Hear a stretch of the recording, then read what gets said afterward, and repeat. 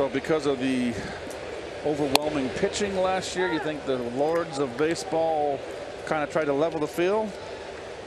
Can't say, but all I know is what my eyes tell me. Ball's flying much differently than it did last year. And it's the proof is in the in the numbers. Home runs are way up this year from last year.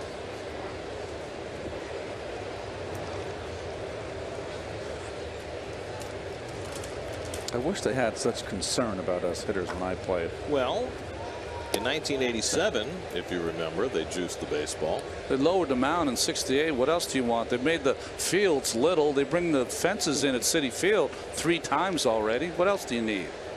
The pitcher has spoken. Wham.